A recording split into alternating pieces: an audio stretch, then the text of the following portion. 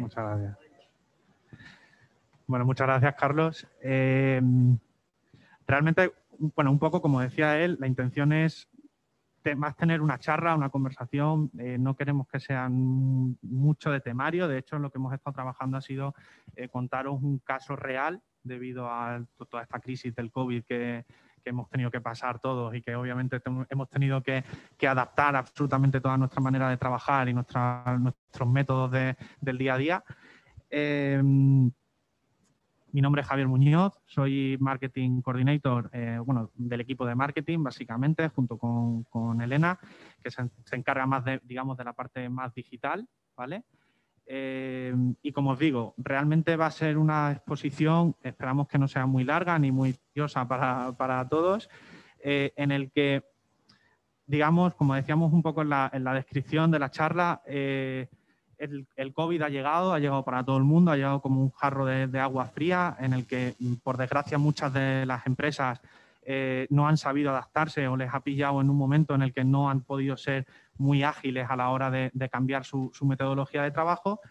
Y nosotros justo, además, fue cuando nos confinaron y quisimos mostrar eh, cómo trabajamos en el momento en el que nos enteramos un poco de, que, pues eso, que nos quedamos en casa y que obviamente el trabajo tiene que seguir hacia adelante y tenemos que adaptarnos, eh, ¿qué, hicimos o qué cambios realizamos para que la marca, digamos, eh, fluyese y, digamos, que, siga creciendo, ¿no?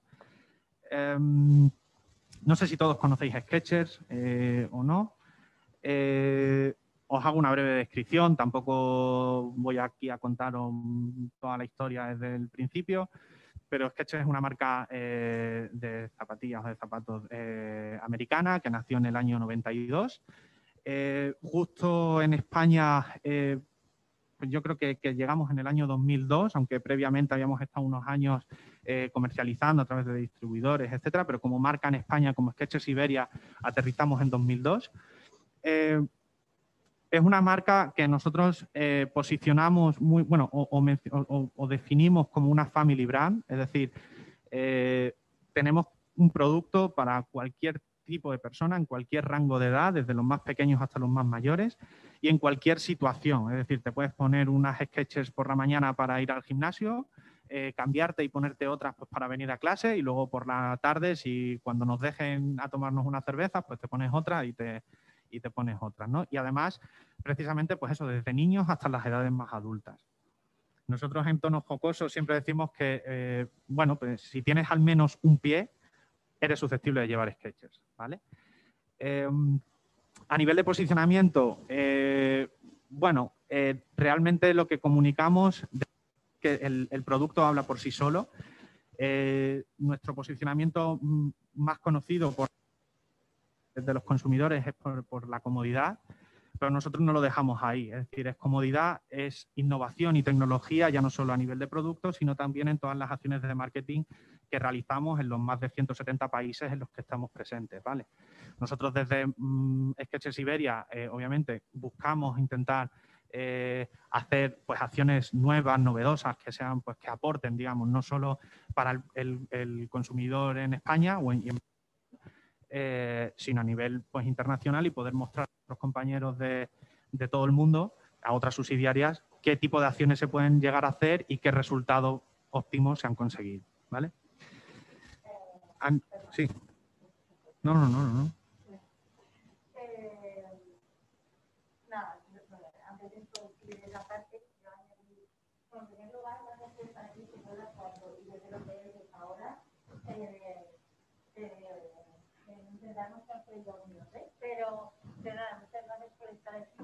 Y, simplemente, a colación de lo que decía Javi, eh, bueno, que Sketches cuando llegó a España, eh, y quizá algunos de vosotros lo tengáis también un poco así, eh, era zapatilla de señora mayor para salir a caminar o de mi abuelo que se va a andar con sus colegas de los jubilados y, y, van con esas zapatillas, ¿no?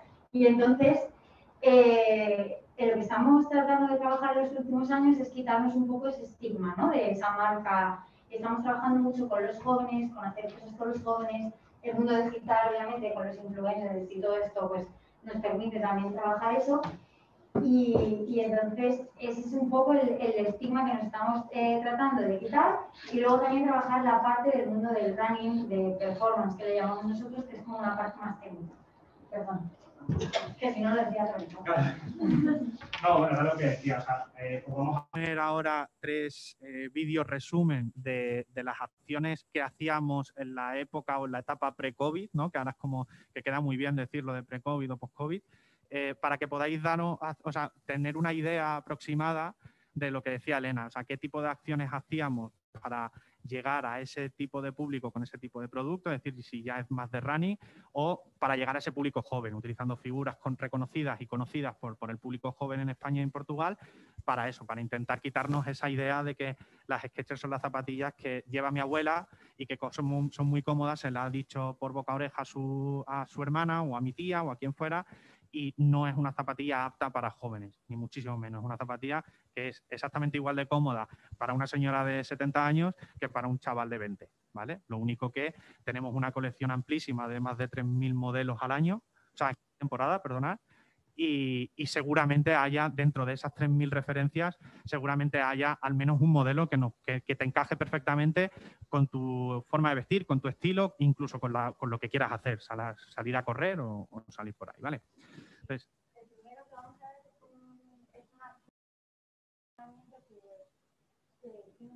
que que, que eh, que era 360 y, y, un poco era para eso, eh, para trabajar ese posicionamiento en el mundo de la moda.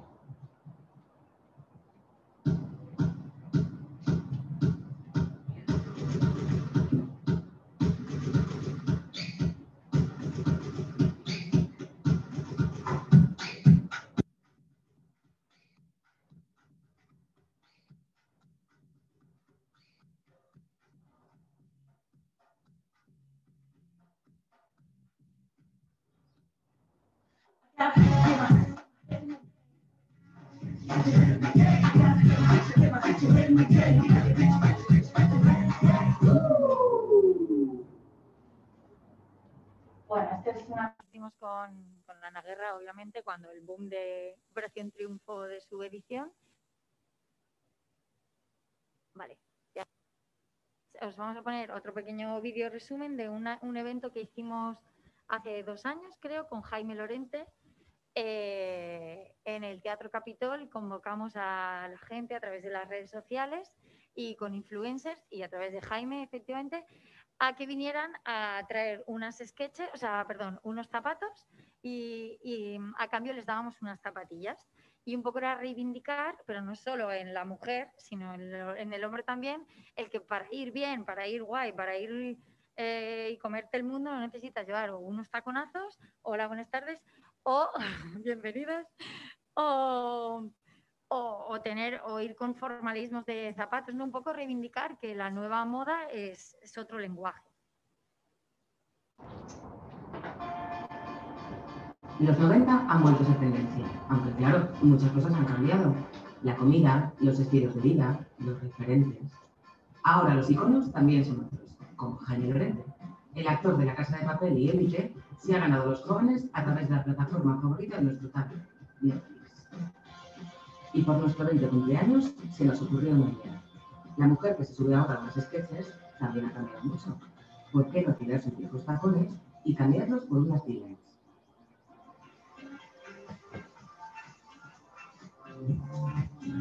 Creamos un evento en el centro de Madrid y convocamos a todos esos jóvenes con ayuda de Jaime Lorente para que vinieran a cambiar sus viejos tacones por unas sketches y lo teníamos todo, el sitio, el referente Así que lanzamos el mensaje y dejamos que las redes sociales hicieran gesto. La cola empezó a crecer desde por la mañana y al final del día había superado las 1.500 personas.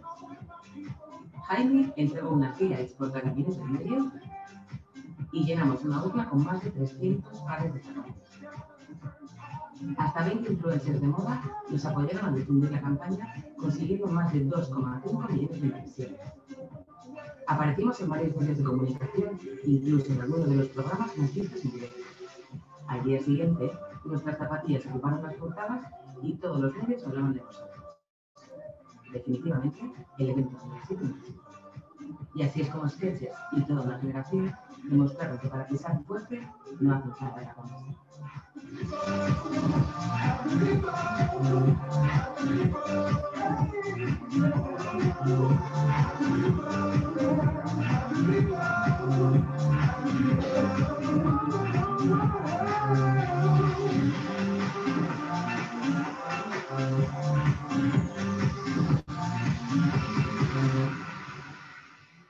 Bueno, y esto eh, lo que es un poco... eh, para que os situéis lo que hacemos, lo que tra- tratamos de trabajar eh, para el posicionamiento del mundo de la moda y los jóvenes. Y luego la parte más de técnica,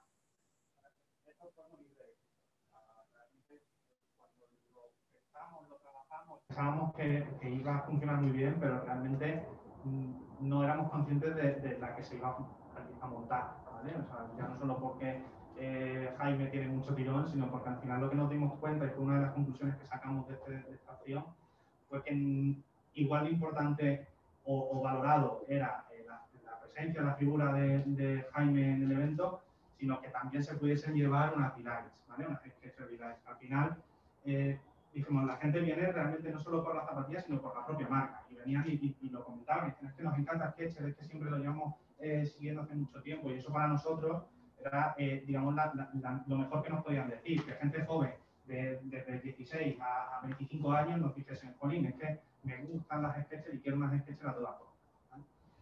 En la parte, como decía Lenny, perdonad, porque esto ha sido un extra que he añadido porque, porque me ha parecido.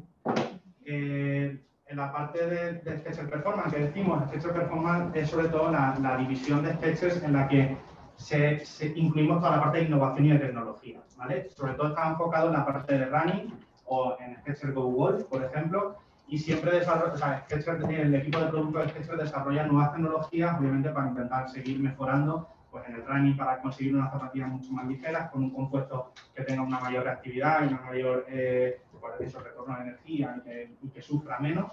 Eh, y digamos que en esa línea eh, trabajamos un evento, un evento con una carrera en este caso, que era la carrera eh, de Sketchers Norte-Sur, que es una carrera que, que se realizaba en Madrid en la época pre-COVID y que esperamos poder, poder recuperar, eh, en el que, digamos, fomentábamos un pique sano entre el equipo del norte de Madrid o el equipo del sur de Madrid, o no solo tenía que ser de Madrid, sino que podía ser pues, del norte, es extrapolable a norte de España, norte de, o sea, sur de, de España o, o donde fuese. Era un evento donde participaban más de 10.000 personas y que obviamente pues Sketcher estaba presente en este, en este tipo de evento, ¿vale? Que era como el, más destacado. Igualmente trabajamos en otros eventos pues, colaborando, pues, ya sea con productos, etc.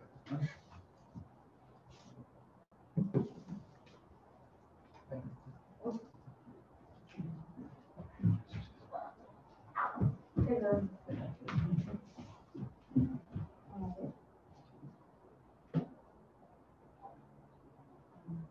¿Vale? Para atrás dos veces. Jolín, esta es el directo. Tres veces. Ah, ahora.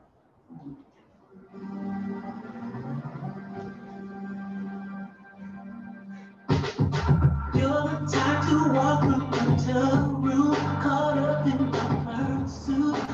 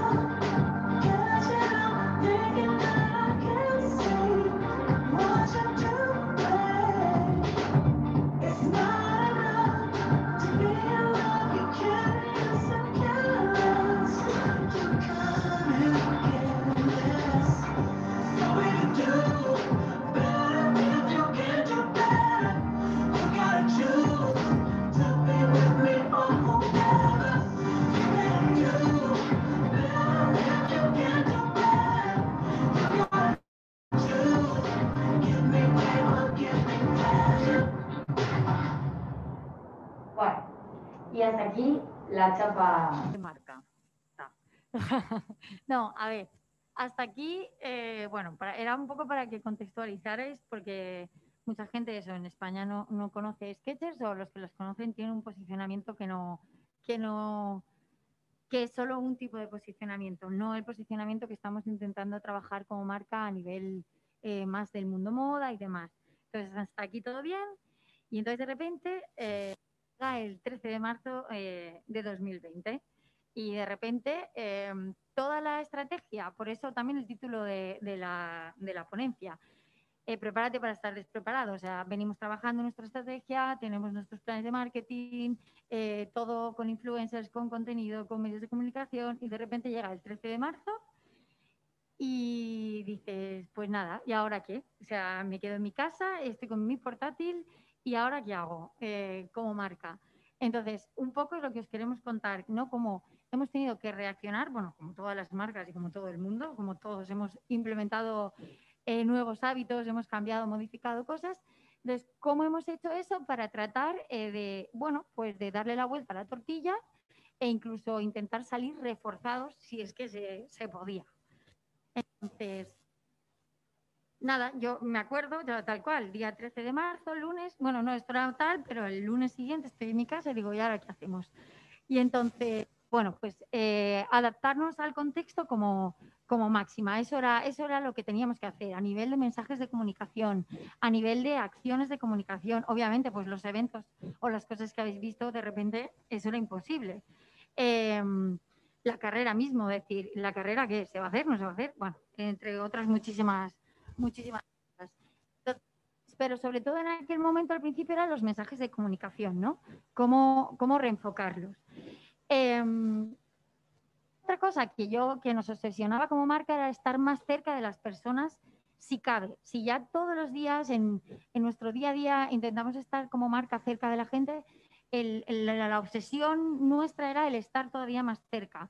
Y sobre todo porque ahora mismo solo teníamos el mundo online, todas nuestras tiendas cerradas, todos nuestros puntos de venta eh, donde vendemos sketchers estaban cerrados y el único canal que teníamos para transmitir como marca era el, mundo online. Entonces, había que también tratar de sacar partido de, ello, ¿no? Y entonces lo que os decía antes, eh, lo que la obsesión era aportar valor de la manera que pudiéramos para tratar de salir eh, pues o reforzados o capear el temporal como mejor pudiéramos. Entonces os voy a contar un poco esas diferentes patitas que, movimos y que seguimos moviendo, porque claro, como esto cambia cada día, pues hay que cambiar todo en cada momento. Entonces, en primer lugar, eh, la primera en la frente. Ese lunes, el 16 de marzo, por ahí creo que era, lanzábamos eh, la campaña de televisión y de radio digital, cuyo anuncio era Sketches Go World, sal a caminar con tus nuevas zapatillas. Claro, todos pandemiados, todos encerrados en casa, pues os podéis imaginar, eh, el, ya la, la- vamos, ya, o sea, yo, el, el emoticón, es mi cara, es el lunes. O sea, decir, Dios mío, a, eh, levantar el teléfono, eh, las cosas no van tan rápido, porque aunque tú pidas que te paralicen una campaña, hay una serie de cosas, hay una serie de, de, de cuestiones de por medio, pero bueno, lo logramos, llegamos a tiempo, no salió nada de eso, porque es que si no, eh, yo me hubiera dado un tiro literalmente. Eh, luego, súper importante, eh, adaptarnos eh, las redes sociales. Entonces, nosotros digamos que tenemos un calendario que hacemos mensualmente en el que tratamos de no solo dar a conocer nuevos productos, sino bueno, también es como gestión de dudas de consumidores y demás. Y entonces, ¿qué hicimos en ese minuto uno? Pues en primer lugar, cambiar todos los mensajes. Muchas de nuestras eh, imágenes, ahora os pondré algún ejemplo, pues muchos son la zapatilla en la calle, gómete el día, sala no sé qué, pues lo mismo, o sea, no podíamos decir eso, o sea, nos metíamos en un fregado, o sea, imaginaos los consumidores, o bueno, yo misma, si veo que una marca está poniendo, digo, digo, estos son tontos o qué les pasa. O sea, claro. Entonces, más que nada, todos los equipos teníamos que estar súper coordinados para modificar todo y era vivir al minuto. O sea, es que yo creo que esas dos primeras semanas dormí tres horas al día porque era como estar todos coordinados y más cuando somos una empresa que también dependemos de Estados Unidos, diferencia horaria de por medio, caos, pero sobrevivimos. Y luego también, pues, em, las fotografías, lo que os decía, pues muchas zapatillas las poníamos, pues eso, eh, una saltando, no sé, pues no vas a poner que estás en un banco de la calle. Entonces, pero no podíamos hacer nuevas fotos porque estábamos todos en, o sea, yo no podía ir con el fotógrafo a hacer fotos a un estudio porque no podía salir de tu casa. Entonces fue, pues vamos a ver de lo que tenemos, que parezca un poco, pues que puedo estar en el jardín de mi casa como mucho, si es que tengo jardín. Eh, y luego, pues eh, también sumarnos al hashtag de yo me quedo en casa, que parece una tontería, una chorrada como un piano, pero nosotros nos sumamos a ello, generamos un engagement brutal dentro de, nuestras propias redes gracias a, sumarnos al carro eh, del hashtag. Y obviamente, siempre que haces esto, como marca, tienes que tener mucho cuidado porque hay una fina línea entre mm, me estoy aprovechando eh, de la situación o voy a ver de qué manera le saco jugo o sobrevivo a la situación. Y hay una fina línea y se pueden herir muchas sensibilidades de consumidores, de seguidores de redes sociales y demás. Entonces, o sea, digo, era súper, eh, era como con bisturí. Yo me veía, cogía el ordenador, las teclas como, to- escribía así como con bisturí porque me daba miedo poner cualquier cosa. Entonces, bueno, ejemplos, lo que os digo, esto, ya- esto fue de, esto fue como de principios que no sé si se ve bien, pero bueno. Ah, esto era el Día del Padre, claro, porque justo pilló cerca del 19 de marzo. Entonces, pues bueno, intentamos poner eh, una foto que no pareciera que estabas eso, muy en la calle y ahí lo que poníamos era pues lo más importante, eh, lo más importante hoy es quedarse en casa. O sea, intentamos también animar a la gente a, bueno, un poco, no se le puede llamar responsabilidad social, porque tampoco creo que sea para tanto, pero bueno, era un poco también esa responsabilidad de como marca aportar un, grano, un granito de arena, porque había muchos, no sé si os acordáis, pero había mucha gente que le daba igual y que salía a la calle y que hacía lo que le daba la gana, porque bueno, al principio nos creíamos que esto no era lo que iba a ser. Luego lo mismo, pues eh, también nos adaptamos, pues de repente pues dijimos, pues vamos a hacer en casa. Entonces motivábamos a la gente a hacer entrenamientos en casa y lo mismo, pues hacíamos copies eh, que... Gracias. así mejor. hacíamos copies o, intentar usar fotos que, que, bueno, pues que dieran a entender eso, pues oye, si estás en tu casa, pues en casa, pero muévete y demás.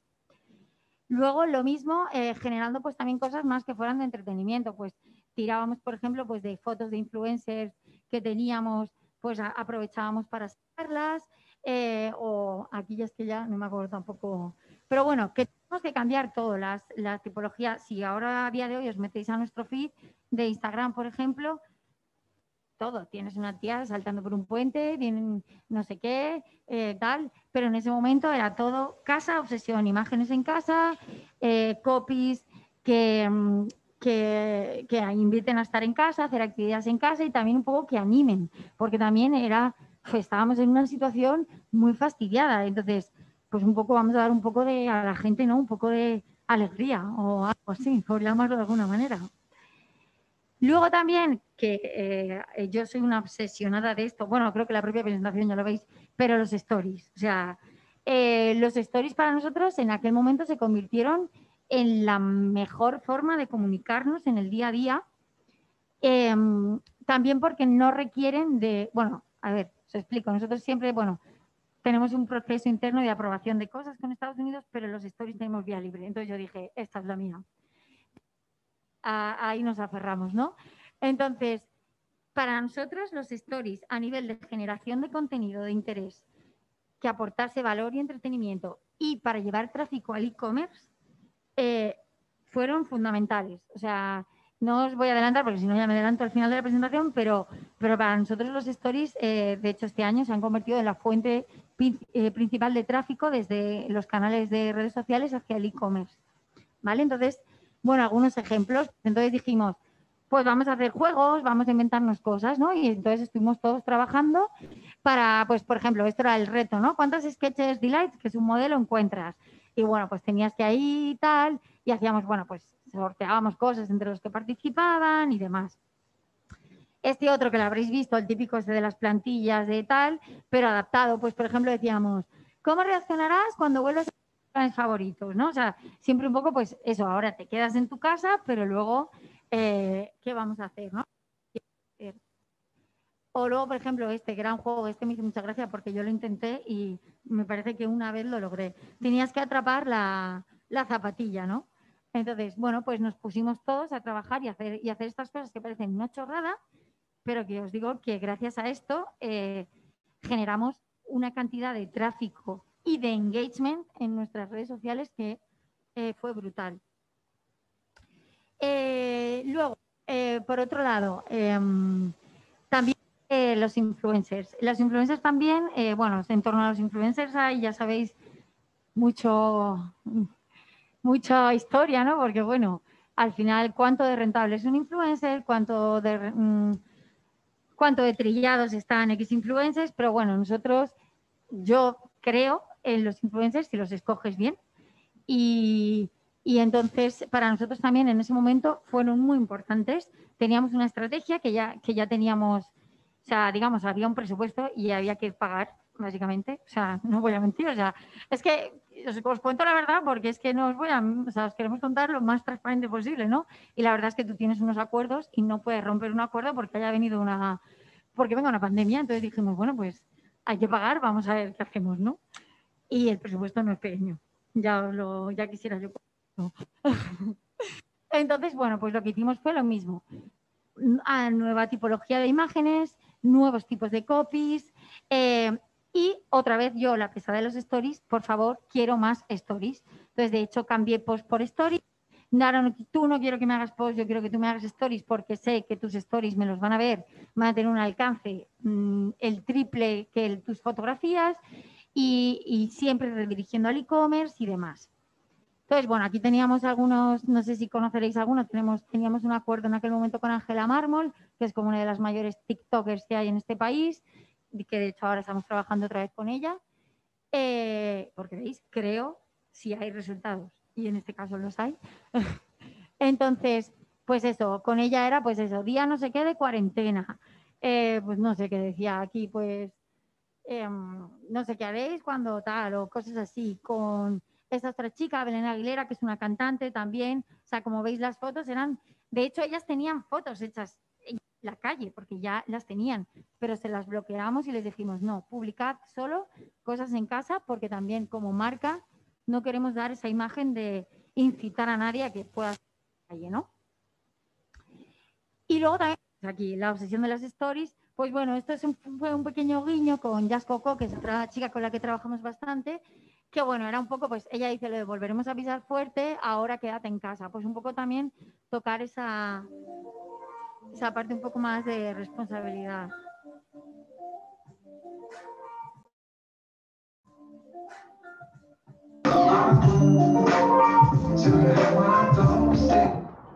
Y bueno, luego también, por ejemplo, les pedíamos, por favor, que hicieran contenidos chulos. Todo también nos centramos mucho, pues eso, en desde la parte del posicionamiento de la moda que os comentaba, decir, oye, pues ¿por qué no hacéis ideas de siete looks para cuando volvamos a, a salir a la calle, cuando todo se acabe, ¿no? Entonces, por ejemplo, esta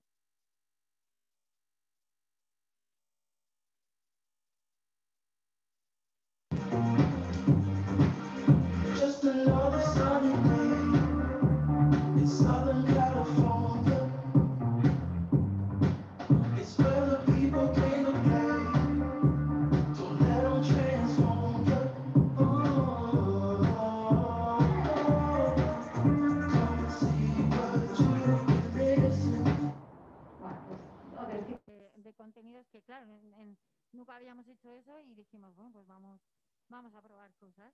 También es verdad que lo bueno de esto, y ahora que nos tenemos a nuestro jefe delante, es que como nadie estaba preparado para esto, pues hemos hecho lo que hemos querido un poco, básicamente.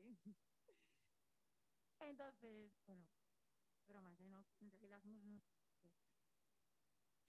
Luego otro punto muy importante era la comunicación PR eh, con los medios de comunicación. Eh, claro, dices, ¿ahora qué? Yo, nosotros trabajamos con un calendario de notas de prensa mensual eh, que movemos tanto en, medios escritos y medios digitales. Eh, entonces, claro, era lo mismo. O sea, mi próxima nota de prensa que iba a lanzar ese martes era, eh, pues no me acuerdo, pues no sé si era como siete looks para pasear por no sé dónde. Claro, y después no pasé por el salón de mi casa, no sé dónde voy a pasear. Fue decir, paralizamos, aquí sí que fue a la basura todo, aquí sí que no rescatamos nada, y creamos un calendario de notas de prensa en 24 horas, decir, vale, pues ¿qué vamos a hacer? Entonces nos inventamos desde... eh, eh, yo me quedo en casa, con el hashtag yo me quedo en casa, estos son algunos titulares de nuestras notas. Pues con las variedades de propuestas de sketches, ¿no? Pues pero para cuando vuelvas a salir eh, a la calle. Entrenamientos o marca el paso de tu vuelta a las calles con, con estas sketches. Esta, esta de aquí, el de abajo, ese fue cuando ya nos iban a desconfinar, cuando empezábamos el desconfinamiento, que también cuando lanzamos esa nota fue un poco eh, locura, porque claro, unas ciudades sí estaban, otras no, entonces fue como decir, hala, pues al lío, la lanzamos y que sea lo que Dios quiera. Eh, una cosa que hicimos muy guay también, que luego Javi os contará un poco más, entrenamientos. Con los atletas que tenemos nuestros, que patrocinamos, pues hicimos un montón de entrenamientos online, o sea, en, redes sociales, a través de sus stories, de los nuestros, y, fue muy chulo porque realmente había un montón de gente que se conectaba, que supongo que vosotros también habréis hecho alguna cosa de estas, ¿no? Yo ahora desde entonces hago yoga, no me sirve para relajarme mucho, pero, pero por lo menos para el confinamiento me vino bien. Eso sí. Entonces, pues nos sumamos también a eso y la verdad que a la gente le gustó un montón. Luego otra parte de, por cierto, bueno, sé que luego hay una ronda de preguntas, pero si en cualquier momento alguien tiene alguna cosa que no queda clara de lo que digo, interrumpidme, por favor. Luego, otra parte muy importante, y para mí esto sí que fue mi, el, bebé de la pandemia, para mí, eh, nosotros trabajamos mucho también en contenido. Como os decía antes, contenido de moda, con revistas, como lo que habéis visto de él y demás.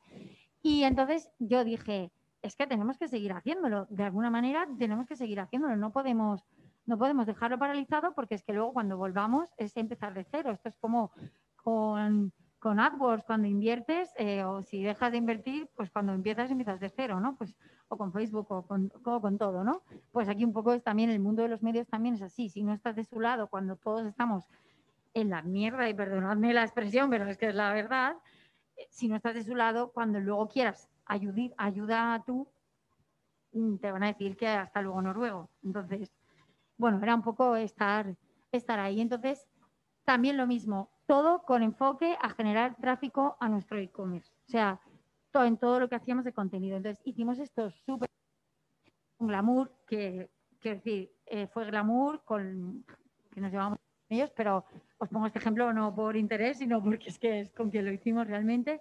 Entonces hicimos un shooting que justo, afortunadamente el shooting lo teníamos de antes, que era un shooting que eran cinco looks, como eh, imitando looks de, de míticas películas, ¿vale? Pero llevando sketchers. Eh, entonces, hicimos ese shooting, pero ¿qué hicimos? Pues cambiar todo el texto. Y entonces, si el contexto era que tienes que estar en tu casa, que no sé qué, aquí no, claro, aquí no. El texto pues decía eso. Pues ponte gris, este, este sábado te puedes poner gris para entretenerte, porque como va, como no puedes salir, pues tal. Eh, y ahí, pues eh, ficha este otro, el, como el de Pretty Woman, Julia Roberts en Pretty Woman, porque seguro que cuando en, el podamos volver a salir, de, quedará fenomenal. O sea, todo- y pues fueron los looks. Por ejemplo, esto era eh, de desayuno con diamantes, eso está muy chuli. El de ahí es el de gris, es imitando a Julia Roberts en Pretty Woman. Este Hall, la película de Woody Allen. Y- ah, bueno, y al principio teníamos el chiquitín que lo hemos puesto ahí, este como si era, mm, lo diré, eh, esta que salta. Eh, y dancing, jolín, que no me salía.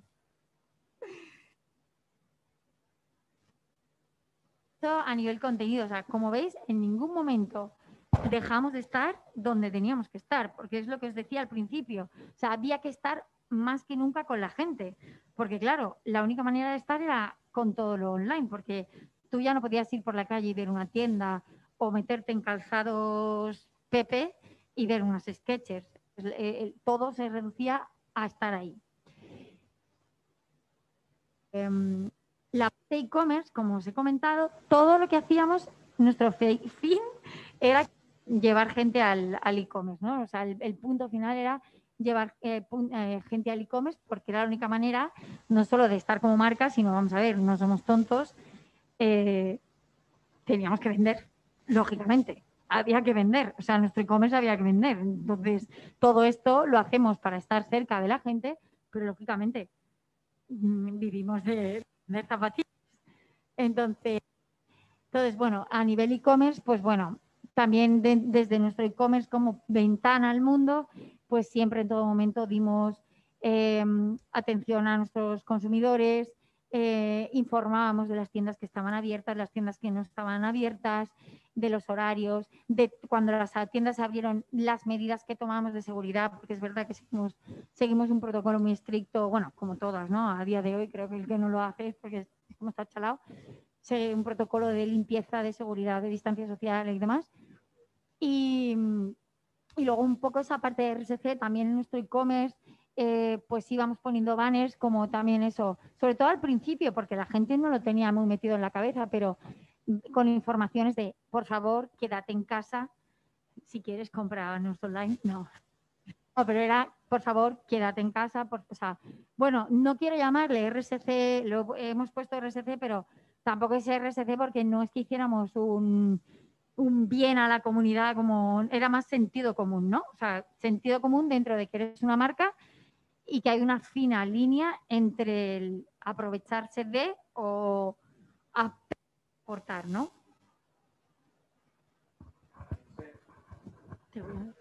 Sí, un segundito.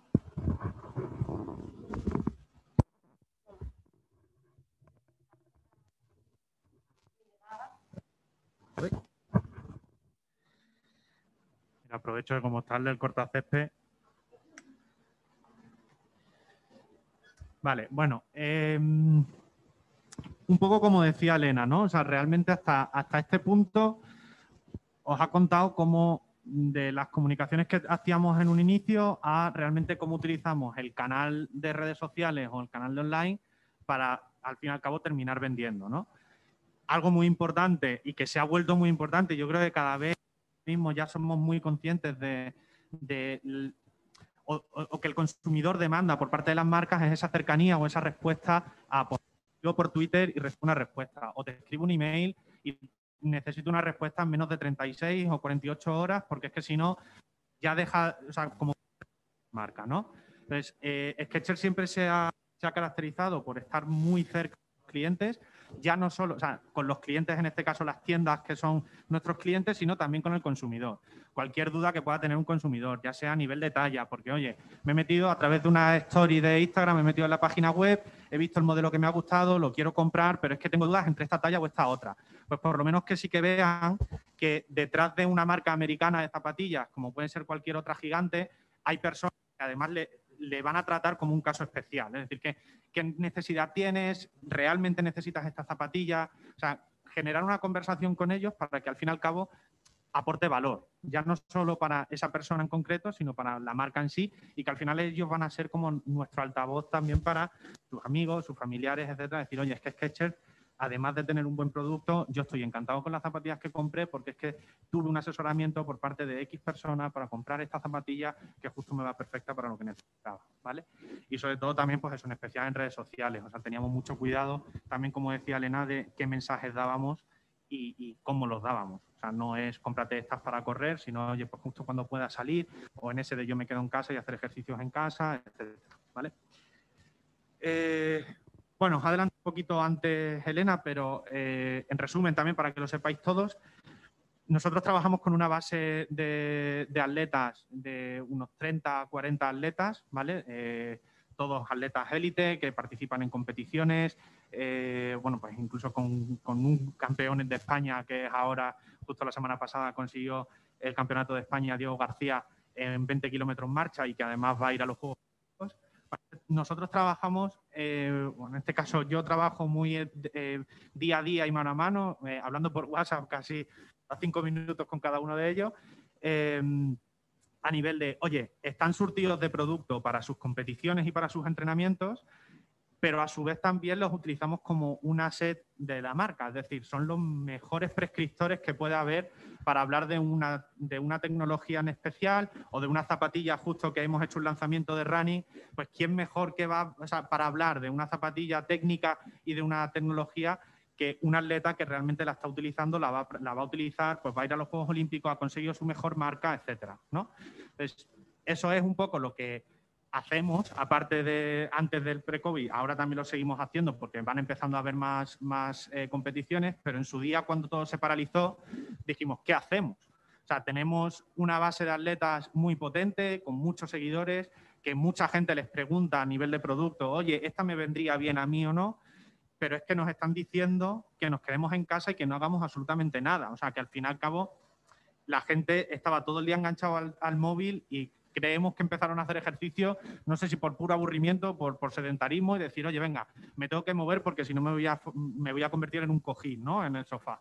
Entonces, conseguimos, eh, bueno, conseguimos, trabajamos realmente de la mano, tanto eh, pues con nuestra agencia como con cada uno de los atletas, eh, en un plan de, publicaciones eh, durante los meses del confinamiento, que cada uno trabajase en un plan de entrenamiento específico. Pues uno habla, haciendo otro haciendo estiramientos, etc. De, de tal forma que al final cada semana teníamos un contenido diferente y además como muy específico para un tipo de ejercicio y además no te lo estaba diciendo siempre el mismo atleta súper reconocido, sino que eran diferentes atletas y además la propia marca, diciéndote y añadiéndonos al hashtag de yo me quedo utilizamos la figura de ellos o incluso nuestros propios perfiles. Este es uno de los ejemplos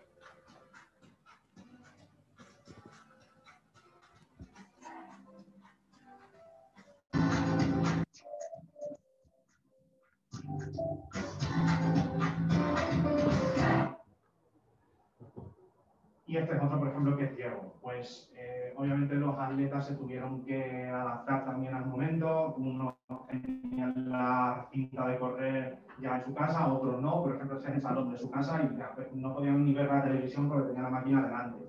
Pues bueno, es una anécdota que cuenta en sus redes sociales, que además dice, bueno, voy a subir mi entrenamiento, etiqueto a sketches y además pongo, pongo yo me quedo en casa, yo, o sea, todo el mundo uniéndose y nosotros además aportábamos ese contenido adicional, no solo lo que él había subido, sino además retuiteándolo o haciendo publicaciones específicas. como la.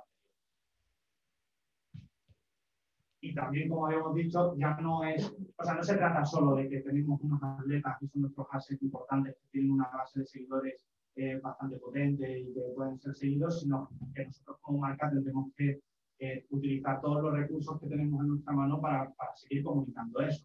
Entonces, eh, al igual que trabajamos con Glamour o con él o con Vogue a nivel de moda, en el mundo del deporte también trabajamos con los medios especializados de running o de triatlón más importantes y más seguidos en España, ¿vale? Y Portugal. Por lo cual lo que hacíamos es todas esas notas de prensa que decía antes que trabajábamos, pues trabajamos en una línea de vamos a defender el yo me quedo en casa con planes de entrenamiento espe- específicos contados por nuestros atletas.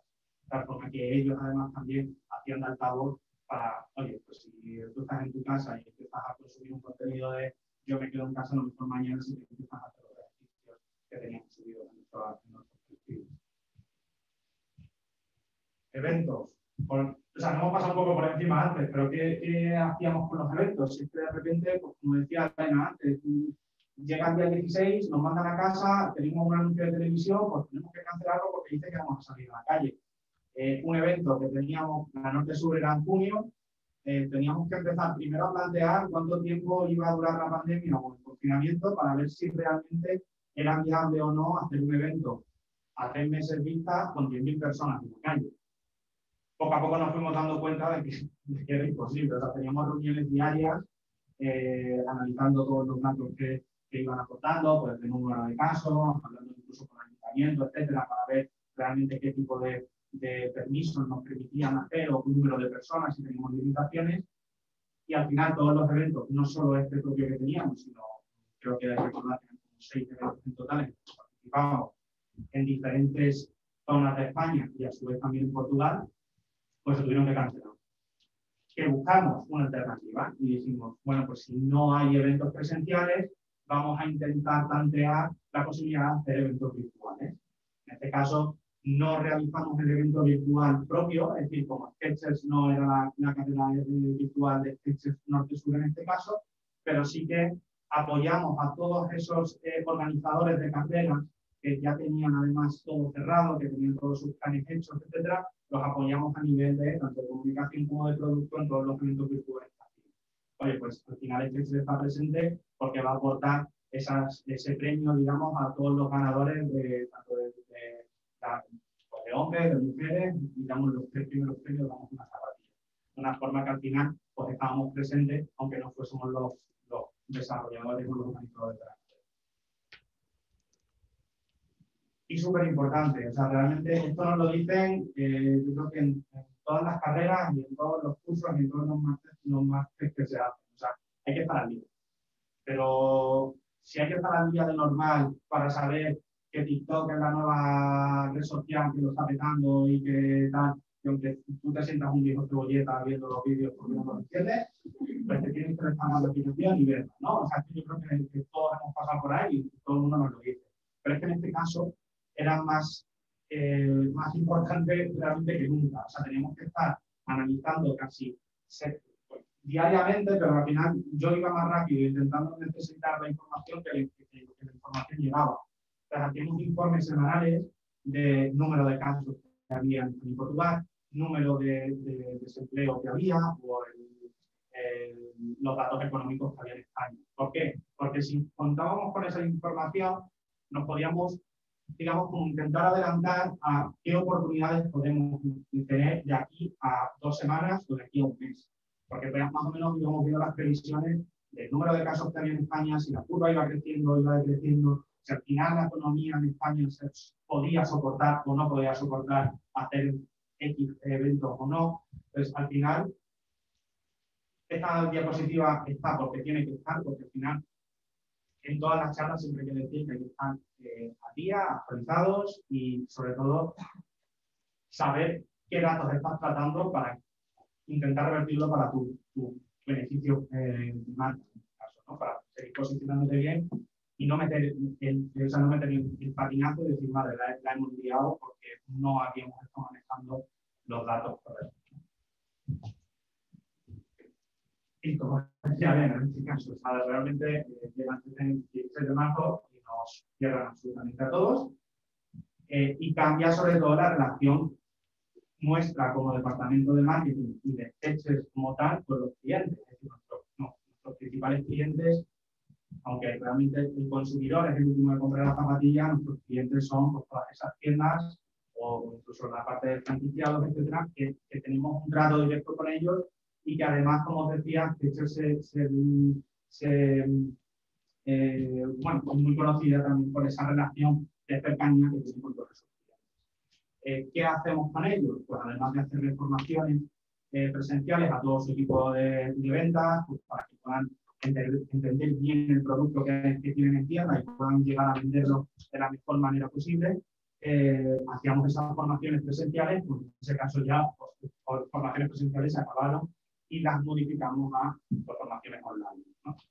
eh, con, con, con, dudas, etc.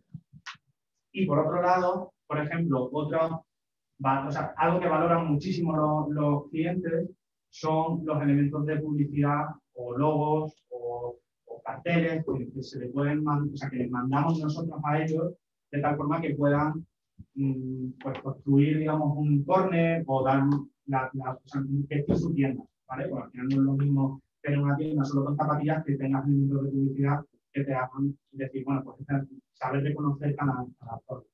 En este caso eh, se paralizó eh, porque todas las fábricas estaban cerradas, de hecho, o sea, no se podía llegar a producir absolutamente nada de esos elementos y lo que se hizo por nuestra parte fue sentarnos y decir, ¿qué podemos hacer para, para ellos y por nosotros? ¿vale? O por ellos y para nosotros pues lo que hicimos fue hacer un análisis de, de top de nuestros clientes, a 50 o 150 clientes, los principales, y hacer un análisis personalizado de cada uno de ellos, metiéndonos en sus páginas web, en sus redes sociales, sobre todo para saber si nuestro logotipo y las imágenes que estaban utilizando de sketches eran las correctas. ¿Por qué? Tiene, tiene un porqué. Nosotros estábamos todos encerrados, si tú vas a comprar una zapatilla y te metes en la página web de tal cliente, eh, está claro que ya no vas a ir a la tienda, lo vas a ver ahí. Por lo cual, la, la mayor exposición de marca que teníamos era sobre todo en sus canales, en sus páginas web y en sus redes sociales.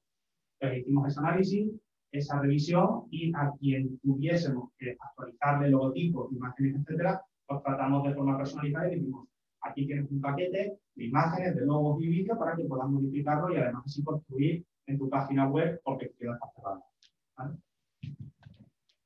Y por otro lado, eh, trabajamos en la herramienta del video training. Pues como os decía, igual que hacíamos formaciones online, eh, aquel cliente que a lo mejor no tenía la posibilidad de reunir a todo su equipo de venta en, una, en un mismo horario, en una misma herramienta, porque o sea, a lo mejor alguno no tenía eh, pues, el mecanismo para poder, no sé, estar online, una, una videollamada, eh, trabajamos en un video training grabado, contando en este caso, con hacer uno de los ejemplos, eh, un lanzamiento de una línea de calzado, que es la línea ANSI, contando toda la tecnología, mostrando todo el producto. Al final es una herramienta que les sirve a ellos para maximizar las ventas. Se, se demanda eh, a través de un email a todos los clientes que se pueden descargar, ver el vídeo y poder incluso compartirlo con todos sus empleados. De tal forma que es una herramienta muy rápida y muy, o sea, muy, muy útil para, para esa red de venta que al final dice, "Jolín, es que no sé cómo defender este producto nuevo que han comprado, que me ha llegado a la tienda, pero justo, esto ya es cuando el confinamiento acabó, es decir, cuando empezaban a abrir en algunos sitios, eh, en unos horarios muy restringidos y tal, pues por lo menos ese producto que llega, que de repente llevas encerrado mucho tiempo, pues tienes una información adicional por parte de la marca que es bastante valorada. Entonces, por no... No, coge, coge el micrófono. Ah, ¿con este vale? Vale. Estamos aquí cambiando. Eh, entonces, bueno, eh, resumiendo, ya para, para no daros más la, la esta. Eh, que hemos aprendido este año, que es un poco lo que os queríamos contar, pues es, el título, prepárate para estar preparado, insisto. Eh, de repente eh, todo cambia, entonces cuanto más no es estar prevenido, porque tú, ¿a qué te, vas a, para qué te vas a, qué vas a prever, ¿no? Puedes prever si no sabes qué va a pasar, ¿no? Pero es, fórmate, ten tus análisis de situación, ten todos los assets que puedas de tu mano, eh, toda tu estrategia, ten todo listo, porque en cualquier momento viene una cosa, tira todo, y si no tienes una solidez, una estrategia, una base detrás, no, no, no sobrevives. Entonces, yo no digo que nosotros hayamos sido aquí la leche, la, la repera, pero sí que nos hemos dado cuenta que haciendo resumen ¿no? de, de todo este año, que realmente hemos aportado un valor, hemos aportado cosas a la gente eh, y hemos hecho que la marca, en cierto modo, pues salga incluso un poco más reforzada. Entonces, de hecho, eh, bueno, hemos creado nuevas formas de trabajar con los clientes, como hacía Javi, o sea, con, con los, los clientes antes eh, trabajábamos 90% físico, ahora tenemos un universo online que si no hubiera venido la crisis no lo hubiéramos descubierto, que, que podemos trabajar con ellos. Eh, también hemos reforzado nuestra relación con los medios frente a 2019, es verdad que en 2020 el, el hacer este cambio, o sea, parece una tontería, pero hacer este cambio que hemos dicho de estar a su lado con esas notas de prensa que nos inventamos, de seguir haciendo contenido como lo del shooting de la manera que podíamos, eso nos ha permitido reforzar nuestra relación. Y créeme que los medios son muy importantes. Vamos, que los influencers ahí, que los medios son muy importantes. Luego, de hecho, hemos crecido un 10% en nuestras redes sociales en este año, que un 10% de oh, un 10% de poco. No, ya os digo, no. Hemos crecido, crecido un 10% eh, a nivel de seguidores, a nivel de engagement, o sea, tenemos, realmente tenemos brand lovers, yo alucino, a veces veo los mensajes y digo, la gente, en fin, digo, no, yo lo leí también. Eh, y eso para nosotros es súper positivo, pero ya además, si nos metemos en poco mucho, eh, es que hemos crecido en un 500% en nuestras ventas de e-commerce en el último año. O sea, Obviamente el contexto es el que es, tú estás en tu casa, no puedes ir a, comprar a tienda abajo. Lógicamente todo el e-commerce, el negocio online en España ha crecido, en España y en todo el mundo, pero para nosotros, eh, o sea, no podemos dar datos por temas tal, pero es que el mes de mayo facturamos lo mismo que todo el año 2019. O sea, en un mes facturamos lo mismo que todo un año anterior. O sea, ha sido una barbaridad. Y yo estoy segura que, aparte del contexto, lógicamente, creo que todas esas patitas que dijimos, ¿qué hacemos ahora con todo esto? Y que fuimos a base de pelear, a base de vamos a pensar, vamos a tal, y muy importante, a, base del el análisis de situación, de, tener datos, pero interpretar los datos, que también cuando interpretar los datos la puedes pagar. Yo digo, no, no Navidad, pero, bueno, hemos tenido suerte, escucho, yo creo que para eso nos dedicamos a algo, algo. Eh, no, pero broma. Eh, es muy importante el, el tener datos que, que, que tener detrás. Eso es como lo que yo decía de los influencers. Maravilloso. Eh, Pepita Flores, no, no sé, digo, es la bomba, tiene cuantos seguidores, tiene un engagement de la leche, tal. Me cuesta 100.000 euros de formación con ella, pero luego no vendo nada. Vale, pues ya, ya sé, ya hago check, digo, está fuera. Siguiente. Pues entonces, al final, el tener esos datos y decir, y tomar las decisiones, creo que todas esas patitas es lo que nos ha eh, permitido también, en parte, insisto, no somos Superman, hay un contexto que nos ha ayudado, bueno, que nos ha ayudado, que, que es del que hemos sacado valor, pero creo que el haber estado como marca y el haber todo como por eso a lo largo de la charla os insistía en generar tráfico al e-commerce. O sea, todo lo que hacíamos era generar tráfico al e-commerce. Y al final, pues los resultados eh, pues están ahí. Así que dentro de lo malo, de lo que hemos vivido, nosotros podemos decir que al menos pues hemos cambiado el temporal. Y, y realmente yo lo digo, lo, lo fastidiado y el reto para nosotros es ahora porque el año pasado ha sido un año irreal, o sea, ha sido un año mm, sin sentido y la realidad viene ahora, el, el- cuando estamos ahí a medias, el- la nueva vida que vamos a tener cuando ya no mascarillas, cuando ya no tal. Bueno, pues hay que empezar a saber gestionar realmente cuando nuestro canal online ha crecido tanto y es tan importante ahora para nosotros, eh, o sea, o ha sido tan importante en todo este tiempo, hay que empezar a trabajar en pensar cómo van a convivir. Es decir, tenemos todas las tiendas abiertas, eh, una gran, o sea, un gran porcentaje de nuestras ventas y de nuestro trabajo casi diario para, para esas tiendas que están a pie de calle, pero es que no podemos olvidar todo lo que hemos crecido en, toda- en todo este último año.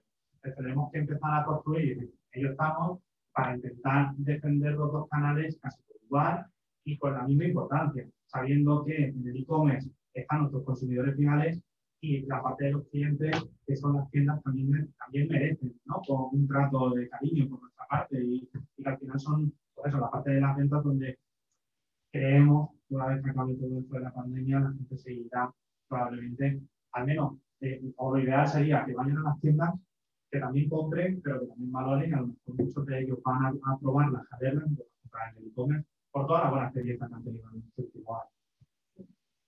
Y bueno, yo para finalizar, y esto ya es una cosa personal, que igual lo tendré que decir ya luego después, cuando ya no, pero bueno, ya hablo de. Eh, pero bueno, yo, eh, cuando Javi y yo estábamos haciendo, bueno, pues empezamos a preparar la presentación, y yo le dije, prepárate para estar despreparado, ¿eh? ejercicio, y me dijo, no entiendo. y digo, pues, o sea, entonces, bueno, que más allá de a nivel eh, marca, eh, y como, bueno, estudiante, bueno, yo es que sigo estudiando porque hay, eh, ¿no? hay, hay que estudiar toda la vida. Pero que como persona, digamos, que recientemente ha estado, he estado ahí, o, o como, porque, bueno, todavía sigo estando ahí, eh, es deciros eh, eso, que os forméis, que aprovechéis todo lo que podáis, que, que exprimáis todo lo que podáis, porque realmente eh, todo es tan cambiante, yo no sé, desconozco si trabajáis, si no, no, no, no sé los perfiles concretos de cada uno, Eh, pero bueno, que si, que si trabajáis, o sea, que por favor que os forméis siempre, que este, intentéis estar al tanto de todas las cosas, eh, porque de verdad, o sea, no sé ya, o sea, a nivel profesionales, es que todo cambia y, y en este último año más todavía. Entonces, nada, era así como, o sea, no es un consejo, obviamente, porque no soy quien para dar consejos, pero sí que, sí que compartirles eso porque si algo yo he aprendido como marca es luego llevarme a la vida personal, es decir, tío, aquí o, o estás así como andando así todo el día o, o te vas al, a full al, al suelo. Entonces, nada, era eso. Y pues que ya no, sí. Muchas gracias.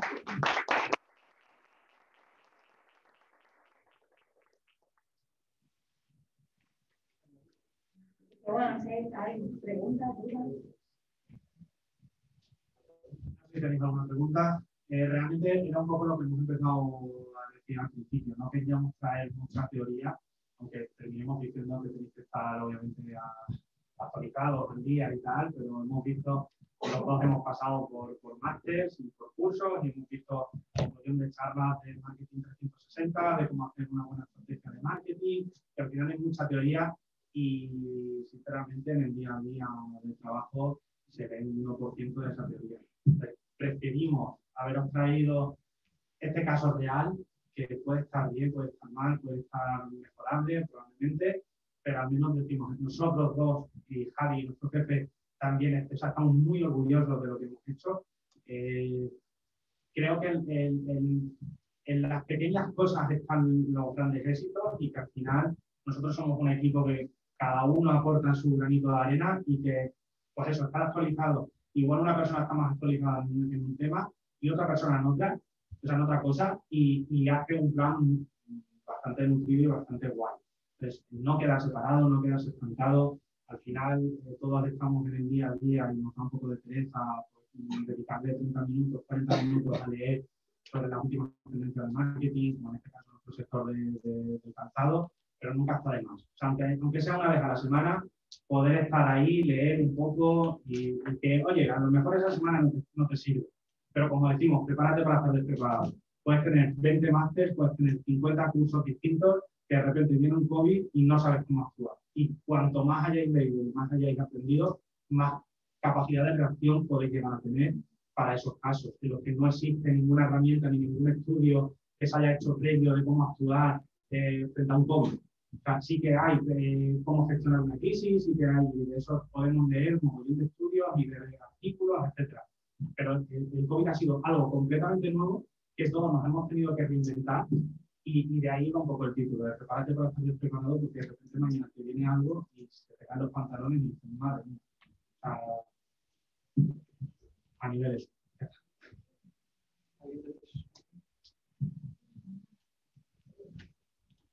Que viene eso queda muy claro. Ahí tenemos un valiente. Yo tenía una duda sobre, eh, no es exactamente sobre la crisis, que sí me daría de probar, pero era que está ahí con la política del todo el mundo. Con el trato con los influencers, eh, dos cosas. eh, ¿Tratáis directamente con ellos o tratáis con la, con la agencia de representación? Porque yo, mi, o sea, mi experiencia es que el, el- el trato no es nada fluido, hablo que con las marcas, y los briefings que se envían eh, son tan. O sea, no sé si es que a lo mejor es un negocio que está empezando, pero es como todo muy difuso y yo ahí se pierde efectividad. Y luego la segunda es en la, en la medición de la repercusión realmente, y lo que has comentado antes, que realmente con nivel muy alto, ¿eh? luego la repercusión en números, pasaba limpio, de cómo se consigue medir. O sea, se- yo sé que hay de, de- de un código personalizado, pero luego el, o la repercusión que no va por código, simplemente es la gente que va y, y compra y porque ha visto a, que sea, a lo que sea, eh, eso es imposible de. O, o ¿Cómo lo hacéis? Pues, pues muchas gracias por atreverte aquí por lanzarte. Eh, bueno, nosotros trabajamos, eh, tenemos una agencia de influencers con la que, digamos, que hacemos las grandes, eh, los bombazos, que les llamo yo, las- los bombazos, eh, y hacemos toda una estrategia para, pues ahora tenemos, por ejemplo, la de primavera, el primavera verano, ¿no? que arrancamos ya eh, las, las ¿eh? mañana, tras hoy es lunes, ¿no? Eh, esta semana arrancamos con ella. Tenemos un pool de cuatro influencers grandes eh, que es con los que bueno, pues vamos a estar durante toda primavera, ¿no?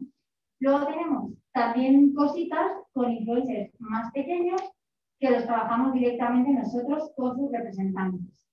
Y luego ya, si tienes un influencer más pequeño todavía, vas con él directamente. Que, que normalmente son influencers más chicos, pues eso, más microinfluencers y demás.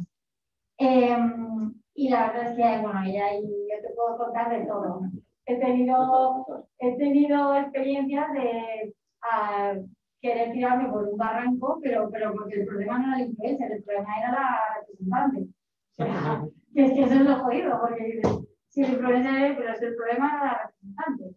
Y he tenido experiencias así, pero es verdad que nosotros al trabajar con, con una agencia, digamos, que es llave en mano, yo me ahorro, y por mi salud mental, me ahorro el paso de gestionar nada. Entonces, yo le paso el briefing a la agencia, eh, le firmo las tapas, le checo las tapas y ellos se encargan de todo.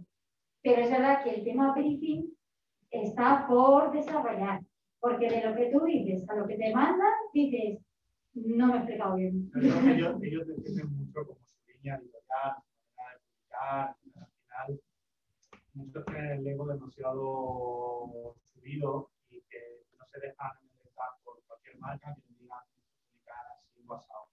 Es cierto que cuando hay una agencia por detrás, sí que es verdad que es mucho más cómodo para, para, para nosotros, porque ellos se encargan ellos de hacer esa, gestión o esa negociación. Luego la parte es, o sea, por eso decimos muchas veces que los influencers realmente al final eh, son como los más agradecidos realmente. La gestión que tienes es, oye, bueno, cualquiera hoy en día se, se influencer, que también hay que analizar cada caso. No, porque yo tengo una comunidad de 3.000 seguidores, entonces soy influencer, mándame a zapatillas. No, espérate, hay un análisis previo, hay que revisar bien el que tiene, la comunidad que le sigue, en cada caso, y en caso ya ellos. Y luego, respecto a la medición, bueno, no sé si tienes alguna duda más de la Pero bueno, el resumen es, también depende de la persona, porque esto es como todo, porque, por ejemplo, Paula Gómez la has mencionado, que hemos trabajado con ella, y no, lo, no la menciono, no tengo nada con Paula, ¿eh? pero es un encanto de persona. eh, la tía se desvivió cuando hemos trabajado con ella, siempre ha sido súper guay. Eh, bueno, y con Paula Gómez, mira, pues esto va un poco al hilo de la segunda, porque con Paula Gómez no te puedo hablar tanto del retorno de la inversión a nivel económico, pero hemos hecho varios concursos, bueno, sorteos con ella. Eh, ella hace como un calendario de Adviento, ¿no? Bueno, no sé si lo sabéis, a hacer con un calendario de Adviento, muchas influencers lo hacen en Navidad. Entonces, sortea cada día un producto, ¿no? Durante eh, los días de Adviento. Y entonces, un día sortea sketches. Entonces, la esta es como sigue sketches y luego, eh, o sea, sigue sketches, sigue a mí y participas de las cajas. Y las dos veces que lo hemos hecho, o sea, ha sido como sacar el sorteo hoy y al, o sea, esta la última vez creo que esto fue hace dos años, creo que fue que teníamos 30.000, nosotros Instagram lo abrimos no hace mucho, teníamos 30.000 seguidores en Instagram y al día siguiente teníamos 70.000. O sea, fue como, eh, what? De, o sea, claro, lógicamente esa gente era eh, la gente iba a, a, llevarse las tapas, pero no nos dejaron de seguir. O sea, el porcentaje de, después de, de la gente que se desvinculó de la marca fue un ínfimo, un pico por ciento, o sea, de hecho, y las dos veces que lo hemos hecho con ella ha sido brutal. Y luego a nivel económico es verdad que podemos traquear a través de códigos. En algunos, en algunos eh, lo que estamos haciendo es, esto es un formato muy nuevo, de hecho, no sé si esto pero como es la gente, yo no, lo siento, no, eh, si luego me lo Para cortar streaming. Pero bueno, hay un formato, ahora no, es nuevo, pero yo, ya lo había visto antes.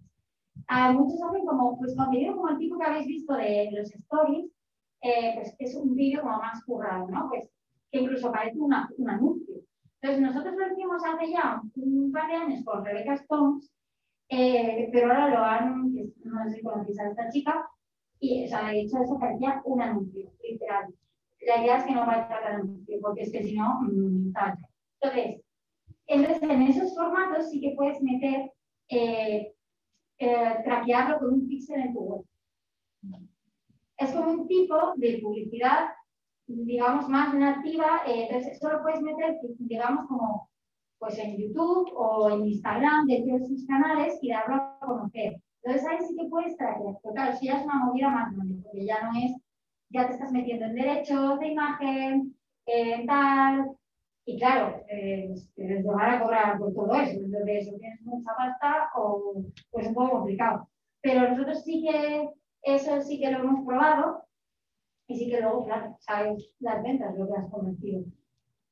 Pero si no, pues es, bueno, pues al, al final es, pues ves el tráfico de tu web, ves las ventas de ese modelo en concreto y al final un poco, no es la cuenta la vieja, es cruzar datos con una serie de matrices y lo sacas. Yo sé que hay agencias, creo que te intentan un poco vender el que yo te voy a decir lo que esto te está generando. Pero al final lo que te puede generar es un ROI orientativo, pero no es un vendo, o sea, pago 80 y vendo 20. Eso a día de hoy yo creo que todavía es un poco, por eso hay tanto nebulosa, perdonad, que estoy hay tanta nebulosa en torno a los influencers, porque vale, mm, cuando realmente me, me reportan. Pero es verdad que en nuestro caso, nuestra estrategia, hasta ahora, porque ahora sí que estamos más centrados en el tema del ROI, era una cuestión más de imagen de marca. Por trabajar eso de quitarnos el estigma de la zapatilla de mi abuela, ¿sabes? Entonces, pues yo creo que, que, hay que hay que dar mucha vuelta al tema todavía. Pero sí que te digo que lo del formato este, sí que. O sea, yo creo que el camino va, va a ir por ahí. Este- Sí, o sea, digamos, imagínate que tú haces como eso, como esa especie de story, ¿vale? Como has visto de la tía chupando las zapatillas. Perdón, que no hablo, perdón. Pues yo hablo. Entonces, em, o sea, tú haces un, un vídeo así, ¿vale? Y entonces en lugar de que ella lo publica, bueno, ya lo puede publicar orgánico, se hace como una campaña de paid media a través de lo que tú quieras, o YouTube, Instagram, o TikTok, lo que sea, Stories, lo que sea. Y entonces ahí sí que puedes, con esto que te digo, que esta tecnología yo bien está en un poco pañales, lo traqueas a través de un pixel que instalas en tu phone, en tu checkout. Y entonces tú puedes saber cuánta gente que ha visto ese vídeo sin pasar por otro sitio acaba en el cargo de compra. Claro, pero ya te digo, ahí ya te metes en paga tecnología, agencia, paga derechos, porque al final ella te puede decir, es que estás monetizando mi imagen directamente. Entonces te cobro el doble a lo mejor. Perdón, me enredo. Pero bueno, pero yo creo que el tema va a ir por ahí. Va un poco ya la pregunta al tema que viene de las zapatillas de la abuela, ¿no? Y ahora queremos llegar a, a la gente joven. Y me ha gustado mucho una pregunta que he puesto de que no hace falta llevar tacones eh, para el transporte, ¿no? Que como ahora estamos en, en casa y yo llevo sin poner tacones, ni, ni me acuerdo. O sea, creo que las sketches son unas zapatillas ideales para todo el tema de, trabajo, estar más en casa, ir cómodo. Entonces, ¿de verdad habéis dado la vuelta y público a las jóvenes que consumen sketches o es un camino a seguir y olvidarnos un poco de las zapatillas de la abuela? A ver, justo eh, antes de la pandemia, eh, íbamos a hacer un estudio, como dijimos, medir, analizar, medir, íbamos a hacer un estudio, porque lógicamente una encuesta, un estudio es lo que te va a decir si lo has logrado, que si has cambiado la imagen de marca y tal, pues claro, justo vino la pandemia, pim, pim, pim, por los aires. Pero a día de hoy, eh, yo te digo que la franja que más convierte y convierte bastante por encima de la media, o sea, imagínate que la media de conversión en este e-commerce es un 0,80, por decir un número. Pues la franja de 18 a 35 años, que, es mm, nuestra obsesión, convierte un 1,50. O sea, todavía no hemos llegado al punto mm, de tener más tráfico de ese público, todavía no estamos ahí, pero sí que de ese, yo, eh, ese tráfico que a mí me viene me está convirtiendo, o sea, el doble que una señora de 42 años. Entonces, para nosotros eso ya es un hito. Claro, pero igual el camino este con las redes sociales, los influencers y todo eso ha tenido que ver seguramente. Lógico, o sea, al final no es tangible la medición de decir, esto que hago con glamour, esto que hago con la influencer no sé quién, esto que hago tal, no te lo tangibilizo, pero al final hace dos años eso no sucedía y dos años después que estamos trabajando ese posicionamiento, pandemia de por medio, estamos en esas, estamos en esas. Y, y luego también nuestras comunidades. O sea, por ejemplo, Instagram, nuestro Instagram, el 65% es público de entre 18 y 25 años. Obviamente en Facebook no. Mira, en Facebook esa misma a mi madre ya Instagram también, pero, eh, pero en Facebook, eh, entonces, lo podemos medir de esas formas. Y luego sí lo podemos medir eh, en la tipología de producto que se compra. O sea, por ejemplo, estas tapas que te dan. No, esto es momento publicitario, como veo publicista, estas tapas que son como muy tal, pues este producto es el más vendido, desde hace dos meses es nuestro producto más vendido. Y casualmente, el- la franja de 18, eh, 25 años es la franja que ahora mismo en nuestro es la que más se está convirtiendo. Y casualmente ese es el producto más vendido. Pero al final, bueno. Eh, o sea, vamos tratando de refinar la manera de medir, pero es verdad que hay cosas que no- es que en comunicación no se pueden medir. Sí, claro, si yo pongo un banner y todo, o sea, yo, yo, yo traqueo, se me intenta de Facebook, todo lo tengo pixelado en, en mi e-commerce. Pero hay cosas que todavía pues, dependen un poco de atarcados. Claro, de medir, al final también te das cuenta, te das cuenta, es algo muy, muy, muy pobre, que normalmente hace años era hiper difícil encontrar a alguien por la calle con una sketch. Y eso es algo que nosotros nos dimos cuenta hace, hace un par de años, yo creo, sí, o hace un año y medio empezamos a decir, "Pues, cada vez vemos más gente con sketches por la calle. Y ya, o sea, íbamos como locos, que parecíamos que, que íbamos siguiendo a la gente porque de repente veías a alguien joven por delante con unas sketches, era chico o chica y nos veían saliendo de a mí por detrás, trabajando con el vídeo, o sea, con el móvil, en plan de, qué guay, ¿sabes? Que alguien joven lleva unas sketches. Ahora ya no grabamos a nadie porque estamos acostumbrados a ver, porque estamos más acostumbrados a ver a gente joven eh, con sketches de, ¿sabes? Por, la calle.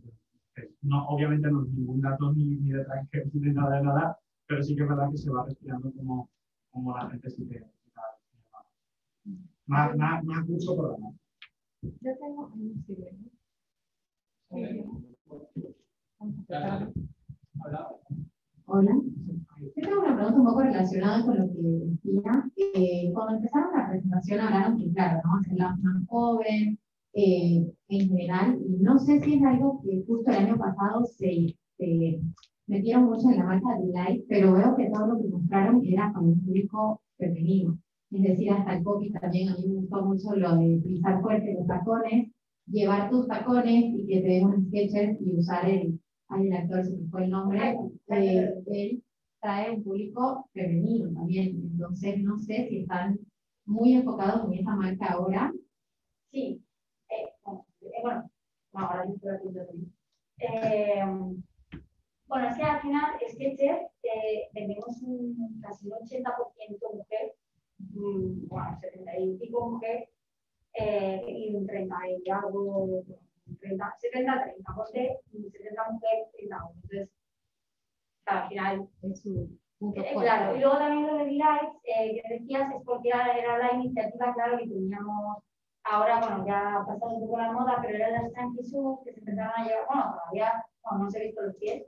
Raro porque es mi obsesión, voy todo el día, bueno, lo único que es una Pero se llevó, era, fue el auge, el boom de los Shoes, y entonces era como la iniciativa de la empresa en aquel momento, eso, sí, eso no hace dos años, o era el eh, era la iniciativa. Pero al final nosotros siempre vamos a hacer más cosas de mujer que de hombre, pero por la propia naturaleza de la empresa y porque al final, aunque nosotros aquí hagamos lo que queremos, tenemos que cumplir con Estados Unidos. Te sorprendería de todas formas la cantidad de chicos que fueron al evento. Sí, sí, los compraban en el chino enfrente para llevarlos. ¿eh? Ah, Veías veías las colas en las tiendas de de alrededor de calzado y veías a chicos que están comprando tacones para que se la final. El primar, el primar, porque esta, esta era el capital en Vía. Pues el primar ese día se puso las botas. O sea, vendieron a todo, a poco mucho, vendieron eh, y venían y lo veías con la bolsa de primar y quitaban, cogían el ticket y las lanzaban. Digo, madre mía. Nada, gracias a ti. Una pregunta lo por dos, los ahí. Ah, perdón. Han hecho,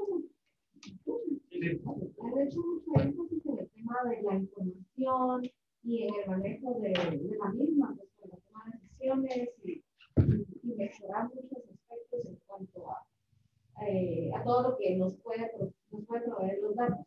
Eh, me imagino que ustedes tienen equipos de BI, Analytics, etcétera, in-house. Eh, entonces, si nos pudieran ampliar un poco al respecto y también cómo apoyan a los diferentes canales, ¿verdad? Dado el caso que e-commerce creció tanto el año pasado, digamos, habría alguna variación de cómo están conformados estos equipos de 2019, 20 y ahora hacia, hacia adelante. Los equipos, gracias por la pregunta. Los equipos, pues lamentablemente, aquí estamos mi amigo y yo, y investigación. No, es verdad, somos, somos eh, eh, aquí en España, en Iberia, porque llevamos los dos mercados, España y Portugal, somos tres personas.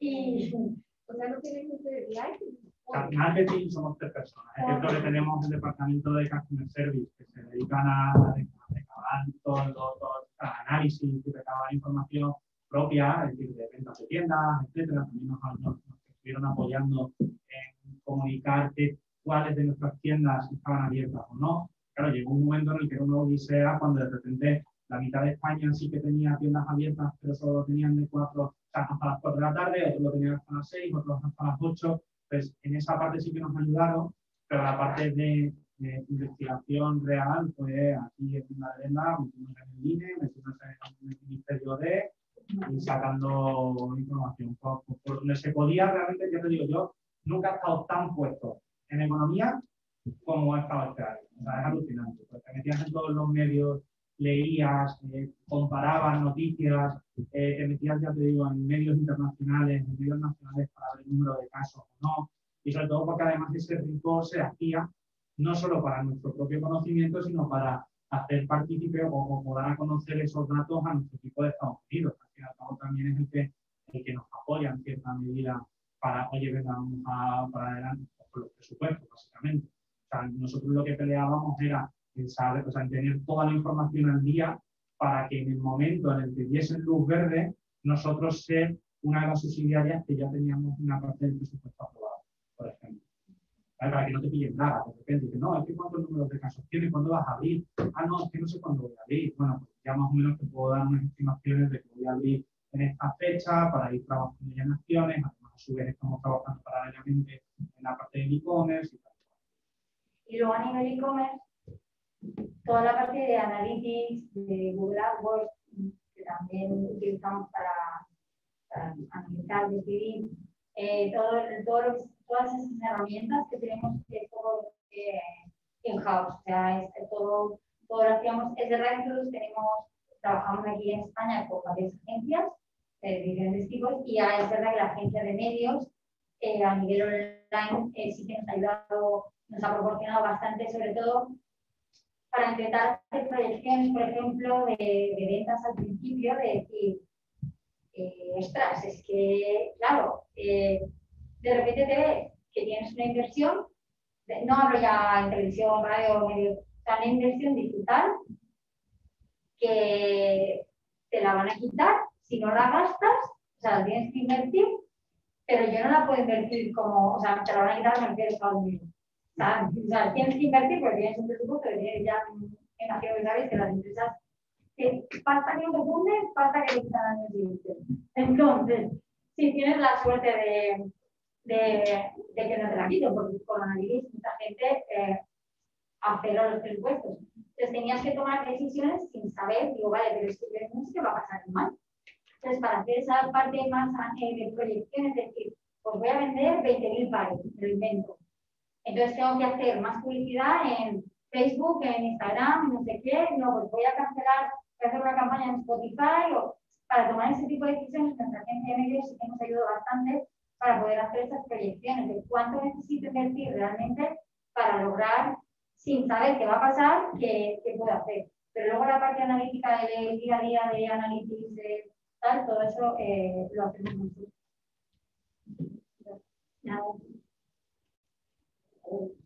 Uy, uy, esto Está interesante, me encanta esto. Eh, bueno, eh, yo sí lo conocí como en el 2018, 2019, no recuerdo cuando fue el boom de zapatillas la que pronto. Eh, y, y noto que de ese momento a hoy, que han presentado como una afectación o un, un boom, porque en ese momento creo que la, el alza fue de 500% en el tema de ventas. Eh, ¿Cómo logran que, que esa esencia se note en todas partes? Es decir, yo estoy en Colombia, Está en Estados Unidos, que fue pues, como donde empezó, y, es, y, y España, y logran todos tener como una tendencia y una línea en la que no se pierde la esencia del producto, que obviamente es lo más importante, y creo que lo bonito del marketing. Sí me gustaría saber de pronto cuál es el punto en el cual todos se encuentran para decir, la esencia es esta, y eh, se la transmitimos al usuario, a nuestros colaboradores, que en este caso serían de pronto eh, los influencers y en fin. Eh, Gracias, Flavio. Oye, empiezo yo a contestar. Sí, pues, yo me enrollo. Eh, a ver, nosotros eh, somos una subsidiaria de, que le llaman, o sea, de empresas de California, de Manhattan Beach, y luego estamos en 170 países. Entonces, nosotros aquí llevamos Siberia, luego Alemania, que, pues, Alemania y Polonia, Austria y Suiza, bueno, y así pues cada uno, ¿no? Entonces, digamos que actuamos a nivel local. Sea, yo me adapto siempre al mercado. De hecho, el mercado español es muy, muy diferente del portugués, por mucho que parezca que no. O sea, mm, es mm, muy diferente. Y entonces, primero, eh, o sea, nosotros tenemos unas directrices mundiales. Entonces, cada año, cada temporada, o sea, nosotros ahora ya, o sea, estamos ahora en primavera-verano, pero nosotros, nuestra cabeza está ya en en primavera-verano del 22. O sea, yo, ya todo lo que estamos haciendo es de 2022. Porque dos, eh, por Winter del 21 ya está, eh, no está todo montado, pero ya está el pescado vendido, que digo yo. Porque entonces anualmente sabemos lo que vamos a hacer. O sea, anualmente desde Estados Unidos se nos dice, imagínate, en 2018 fue el boom de las shoes, ¿no? De las, de los, de las zapatillas feas. Pues dos años antes, ya desde Estados Unidos se nos dice, 2018 tenéis que mover este producto. Y yo decía, perdona, pero una niña, perdón. O sea, que una memoria, digo, yo no voy a mover este producto, por favor, eso digo, que cada cabe, eso se vaya poniendo en moda. Y ya que yo me considero que, que estoy siempre como aliada de las tendencias, entonces, ni de coña, o sea, yo en el e-commerce, que también en el merchandising de la web, cogía los códigos y los ponía al final de la página para que salieran los últimos. Para que, porque muchos de mis amigos, eh, yo me acuerdo cuando mis amigos, en, de, cuando empecé a trabajar en en 2017, mis amigos eh, se metían decían, pues muy feo. Yo le decía, porque no, hombre, que hay cosas muy chulas. Entonces cogí esos códigos y me los llevaba abajo, porque ya está solucionado el problema. Y de repente viene Estados Unidos, Estados Unidos te dice que eso tiene que ser, es el, lo que tienes que potenciar. Entonces, cada, con un año de anterioridad ya sabemos lo que tenemos que mover. Lógicamente hay productos que no, no llegan a todo el mundo. O sea, aquí en España hay productos que no llegan, que, que están Unidos y aquí no, y aquí no vendemos, porque luego siempre hay- hacemos adaptaciones locales. Pero al final, el- las cuatro claves o las tres claves de la compañía van a estar en todas partes. Entonces, por el caso de las Senkisud, ya llevaban siendo la pera en Corea, que de hecho patrocinamos, o sea, somos un grupo de K-pop, eh, bueno, ayer era la leche, entonces claro, Estados Unidos decía, el año que viene vosotros. Y yo digo, no. Y al final, eh, de hecho, es que Delight durante desde 2010 y final de 2018 hasta ahora, bueno, que aún a día de hoy ha sido el producto más vendido. El modelo ese negro que habéis visto y el modelo blanco han sido los dos modelos. O sea, de hecho, han sido los modelos, yo creo, los modelos más vendidos de la historia de Sketches. O sea, brutal. Y, mm, y eso. O sea, hay que, a nivel- o sea, como te decía Elena, trabajamos con una campaña de antelación, pero en Estados Unidos el equipo de productos está trabajando con, obviamente, buscando las tendencias que van a ver de aquí a X años. Al final, dentro de esas 3.000 referencias que se trabajan cada, cada temporada, ellos destacan, oye, de todas estas 3.000 eh, referencias distintas, vamos a poner el foco en estas dos categorías principales. De paso, un poco toda la información a nivel de productos, es cuando empezamos a trabajar nosotros internamente, pensando en, eh, obviamente, en esa campaña, cuando nosotros nos presentan el producto, tenemos que empezar a trabajar internamente para hacer las ventas de esa campaña, pero luego a nivel de comunicación que no le van a llegar a los consumidores no llega hasta la siguiente campaña. No sé si me estoy explicando. Entonces, eh, tenemos todo ese tiempo para intentar ajustar todo ese contenido y toda esa información que nos aportan de Estados Unidos en cuanto al producto e intentar adaptarlo localmente. Hay, algunos productos que son súper funcionales, al final es, oye, eh, tiene esta tecnología, te sirve para esto, y es más o menos para este rango de edad, pero luego nosotros localmente decimos, ojo, es que el mercado portugués no es el mismo que el mercado español y tendremos que ir adaptando los mensajes de esta categoría en función de a quién nos dirigimos. Y por eso también hacen microsegmentaciones, ya no solo, o sea, ya no solo entre España y Portugal, sino dentro de España. Oye, voy para los jóvenes, vale, pues lo voy a dar- mandar con este mensaje, estas piezas, canales. Y voy para mayores, pues voy con un anuncio de televisión, cosas así. Gracias. Ahora sí.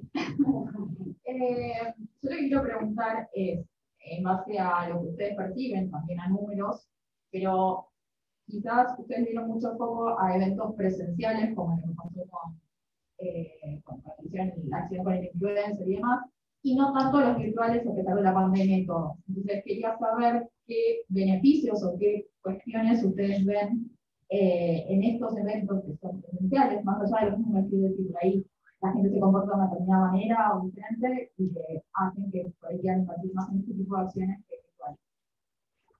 Pues la verdad es que virtuales ni los hemos planteado, porque como en realidad fue este año pasado cuando llegó eso, ¿no? El segundo, de, bueno, pues vamos a hacer eventos virtuales, la verdad es que no, no, no nos, bueno, planteamos toda la carrera el poder hacer algo virtual, pero no nos planteamos el, el, el hacer cosas pues, como lo del Jaime virtualmente, porque a nosotros, ya más allá de como marca, sino también nosotros como personas, era como que a mí se me queda como que se me queda frío. Y más cuando una que esto lo ha comentado Javi antes, una característica de Sketches como marca es el estar siempre, eh, una marca estar mucho en la calle con el cliente.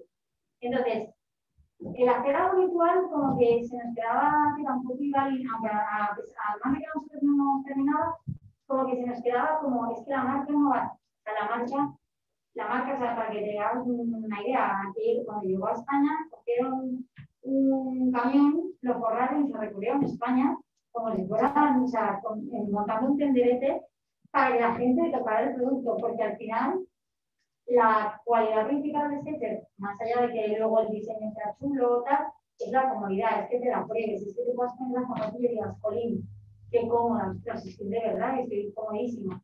Entonces, no nos hemos planteado eso. Si la pandemia, o si la pandemia, si la pandemia siguiera, o sea, si no sabemos qué va a pasar en los próximos meses, pues a lo mejor nos teníamos que plantear hacer algo así, ¿no? Pero, pero la verdad es que yo ni lo he pensado.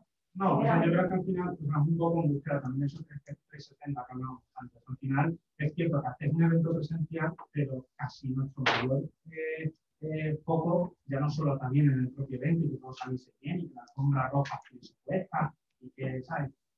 Fue, oye, traes a los medios, te invitan, te, te- digamos como que te aseguras alguna publicación, alguna aparición en directo en televisión, y a su vez nosotros hacemos toda la campaña previa de, oye, vamos a hacer el teaser, luego vamos a hacer la comunicación de cuándo va a ser, vamos a decir quién va a venir, hubo muchísimo refuerzo por parte de digital. Al final es como, eh, sí, eh, no deja de ser un evento, porque no deja de ser un evento, y, y de hecho se planteó la, la conversación de decir, "Es que al final, si lo hacen en Madrid, ¿qué pasa con los de Barcelona? ¿O qué pasa con los de Málaga o los de Sevilla? Sí, pero es que al final toda esa campaña digital que hubo por detrás, al final el mensaje es el. Es cierto que no has podido disfrutar de esa experiencia eh, de conocer a Jaime o de que te den las zapatillas, pero al menos ya eh, por redes sociales sí que te ha llegado, ya sabes lo que es Sketcher, ya sabes lo que son las Delights, sabes que Sketcher está haciendo eventos, que es algo que, aunque tú no sepas, no profundices en qué está haciendo, si te llega que ha hecho un evento, ya está ahí. Ahí ya, la- ya la consideras. Sí, es cierto que no, no valoramos en- en- hasta entonces, hasta ahora, no hemos valorado hacer ningún tipo de evento virtual. Ahí está el reto, ¿no? A ver cómo, como decimos al final, a ver cómo intentamos hacer el equilibrio entre, entre uno y otro y no se puede mencionar. El año que viene nos lo contamos.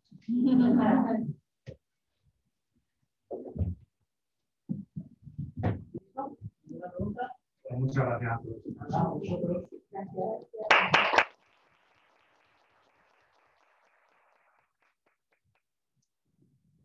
Muchísimas gracias eh, por vuestra charla, que. Eh, sí que eh, había un pequeño, bueno, me gustaría, ¿eh? pero una pregunta yo también, eh, porque yo creo que es momento también para ser un poco más humano, ¿no? y abrir un poco a la ética de nuestros movimientos desde la parte empresarial.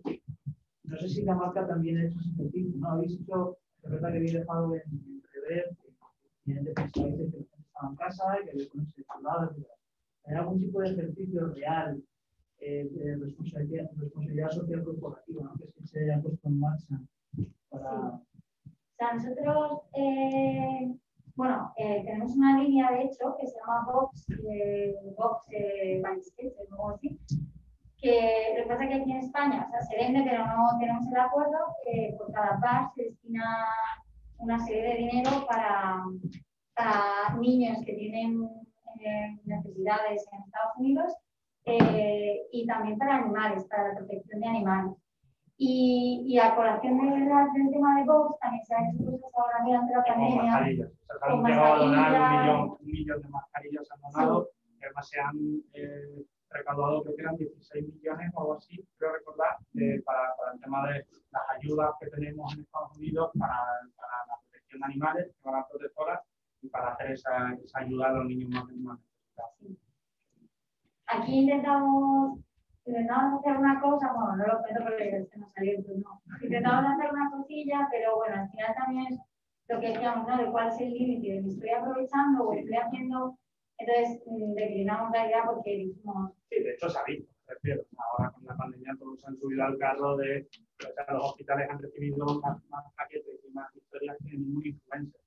Al final llegó un momento en esa línea que se sobrepasó y ya se, se malinterpretaba el enviar X material porque ni vea está mandando eh, 50 mil millones de, de desodorantes, ¿no? Pero además te encuentras hasta eh, trocitos de pan, ¿para qué, qué va a aportar ese trocito de pan a, yo que sé, a un trabajador sin más? Se, se podría malinterpretar y preferimos al final no. Muy bien, chicos, pues nada, eh, muchísimas gracias de nuevo. Aquí tenéis vuestra casa para lo que queráis. Y salvo el, el- bueno, era la competencia, ¿eh? Te han mandado la importancia este. era, era vida o algo. Nada. Pues nada. Gracias.